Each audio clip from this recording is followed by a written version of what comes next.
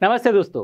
CC મેઇન્સની અંદર science and technology નવો સબ્જેક્ટ છે કે જેની અંદર space sector defence sector energy સેક્ટરના તમને મીન્સમાં પ્રશ્ન પૂછી શકે છે. અહીંયા આપણે સ્પેસ સેક્ટરનો ક્વેશ્ચન જોઈએ કે ભારતમાં ટકાઉ વિકાસ સેક્ટરને પ્રોત્સાહન આપવા માટે અવકાશ ટેકનોલોજીનું મહત્વ જણાવો અથવા તો એની ચર્ચા કરો. બેઝિકલી આ ક્વેશ્ચન્સની અંદર દસથી પંદર શબ્દોનું તમારી પાસે એનું સ્ટાર્ટિંગ હોવું જોઈએ એટલે કે ઇન્ટ્રોડક્શન હોવું જોઈએ.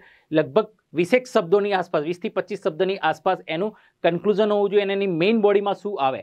એની મેઇન બોડીની અંદર આ છ પોઈન્ટ તો આવવા જ જોઈએ. કારણ કે ઇસરો એક સોશિયો ઇકોનોમિક રિફોર્મ્સ પર કામ કરતી સંસ્થા છે સેટેલાઇટ બેઝ ડેટાની મદદથી. એટલે કે આપત્તિ વ્યવસ્થાપનમાં કેવી રીતે સેટેલાઇટનો ઉપયોગ થતો હશે, એની, એના ડેટાનો કેવી રીતે ઉપયોગ થતો હોય, કૃષિની અંદર કેવી રીતે એની પ્રક્રિયાઓમાં પાણી અને એની સાથે જે એના ક્રોપ મેનેજમેન્ટ છે, એમાં કેવી રીતે યુઝ થતો હોય, સંચાર એટલે કે telecommunication service DTH service television service એની સાથે સાથે હેલ્થમાં કેવી રીતે, એની સાથે સાથે શિક્ષણમાં કેવી રીતે, અલગ અલગ લેવલ પર સંચારનો કોમ્યુનિકેશનનો કેવી રીતે ઉપયોગ થાય, રાષ્ટ્રીય સુરક્ષા, આંતરિક સુરક્ષા અને બાહ્ય સુરક્ષા બંનેમાં સેટેલાઇટ બેઝ સર્વિસ કેવી રીતે વપરાય પર્યાવરણીય દેખરેખ, એટલે કે ક્લાઇમેટ ચેન્જની અસરોની સાથે સાથે ઓશન એટલે કે દરિયાની જે ક્લાઇમેટિક કન્ડિશન એને કેવી રીતે ચેક કરી શકે સેટેલાઇટ સર્વિસની મદદથી, સાથે સાથે ટેકનોલોજીકલ એડવાન્સમેન્ટ એટલે કે કે જે નવા પ્રોજેક્ટ્સ, ગગનયાન જેવા ટેકનોલોજીકલ એડવાન્સમેન્ટ અને સાથે સાથે આંતરગ્રહીય ઉપગ્રહ દ્વારા કેવી રીતે ટેકનોલોજીકલ એડવાન્સમેન્ટ કરી શકાય, આવા દરેક પ્રકારના ટોપિકની ચર્ચા કરું એટલે તમારો પ્રશ્ન જે છે એ કમ્પ્લીટ થાય.